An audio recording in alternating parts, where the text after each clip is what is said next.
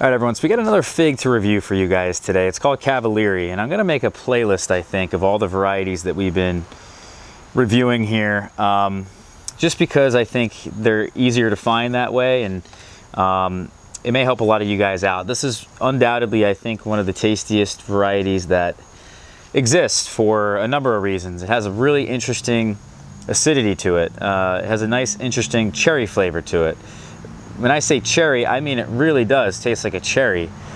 Almost like an artificial cherry flavor, a cherry lozenge in a way, it's like a cherry candy. You can see down here the trunk, it's a pretty old tree. I've had this now for I think three or four years. My friend Maddie was so nice enough to give me this years ago. And uh, this one originates from Paolo Belloni's collection in Italy. And Paolo, for those of you guys who don't know who he is, he has an incredible collection of Italian figs in Italy. He probably has more Italian varieties than I think anybody. Um, he really is working to preserve genetics, uh, not just of figs, but of other species of plants. And uh, he has a beautiful property. You can actually visit him. You can go there and pick figs, get a tour. You can stay there. Uh, it's a beautiful place. One day I'll go. Um, so I'm really uh, excited to have figs from his collection and this one in particular, in my opinion, is one of his tastiest, or at least I know that this is one that he highly regards. This is also a variety that not just is from him, but it's kind of widely grown throughout Italy. Uh, there's definitely uh, nurseries that carry this fig. I think Belfiore nursery carries this fig as well.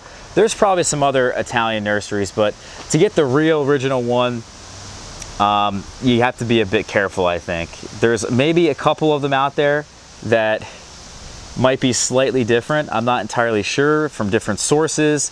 It's hard to say, but uh, I think Cavaliere translates directly to knight in English. So this is the, the knight fig, um, like a, a knight in armor.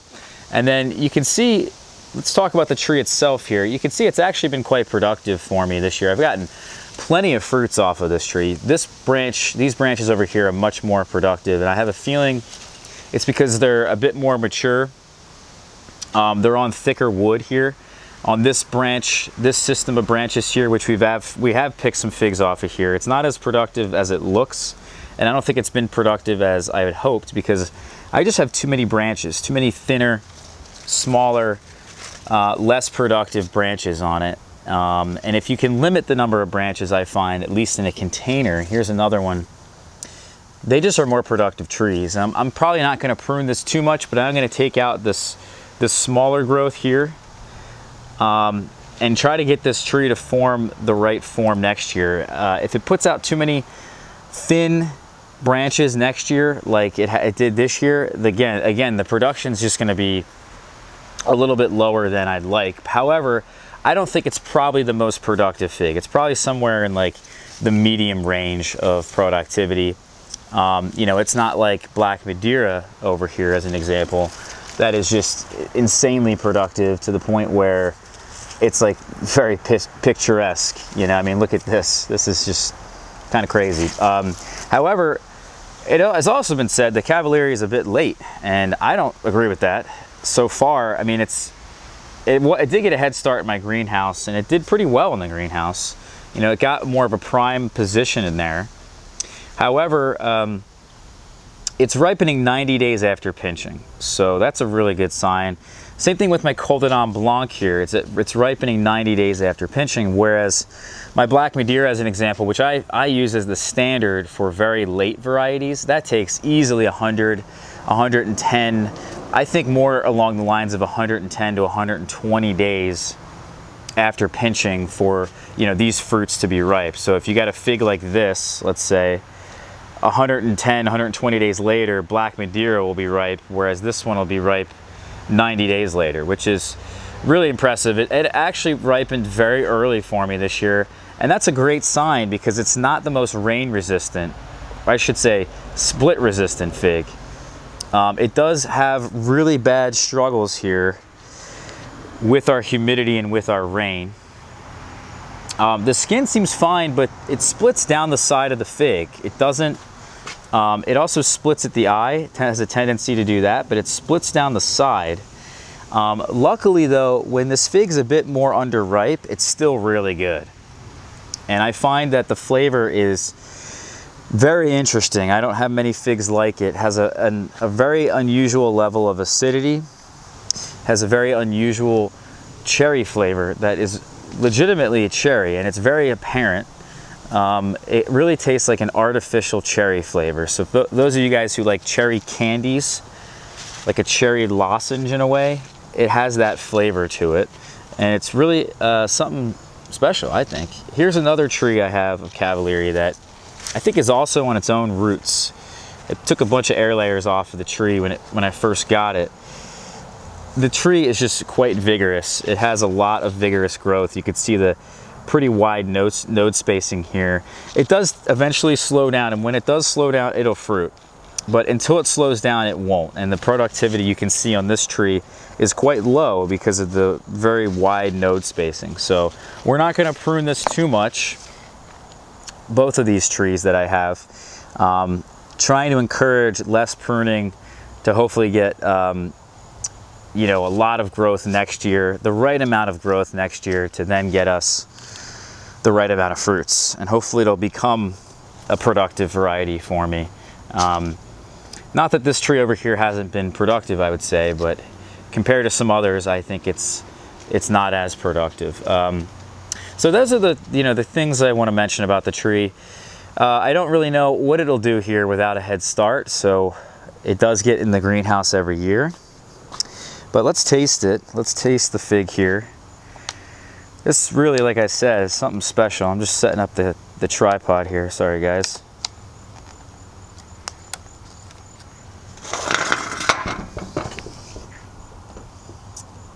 Alrighty. So, um, like I said, it's got a nice, interesting cherry flavor. Let me show you guys what the fig looks like. Closer look at this guy. That's a pretty good view, and I know it's a bit bright, it seems like, on the camera right now. But it's really quite good. Uh, let's give it a shot. Let's give it a little taste test.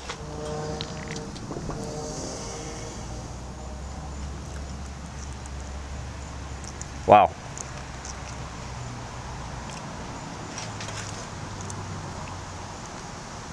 That one was really good. That one's the best one I've ever had, I think. Very thick. It's a really nice fig. Wow. And you know what? I could have let it hang a couple days, but it's already got the perfect flavor. A lot of the acidity that I'm I'm picking up in prior fruits, I think is maybe because they're picked a bit underripe, perhaps, and that acidity is kind of going away. That cherry flavor is also kind of going away. This is a really nice berry flavor that's thick, jammy, dense, sweet, complex. The skin is quite thin but the actual syconium of the fig is quite thick. So you're eating kind of a thicker shell, even though the skin is very thin, but the inside is very jammy and very dense. It's kind of like eating a Col de Dame. In a way, it's very close.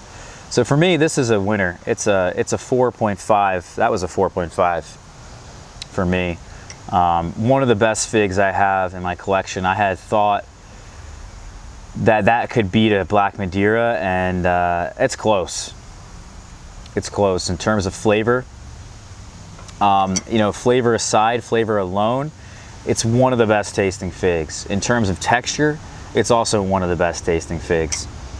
So for me, it has a better flavor, I think, than Col de Dame, but not as good of a texture as Col de Dame.